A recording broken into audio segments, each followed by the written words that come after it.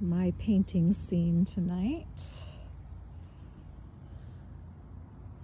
No paintbrushes here.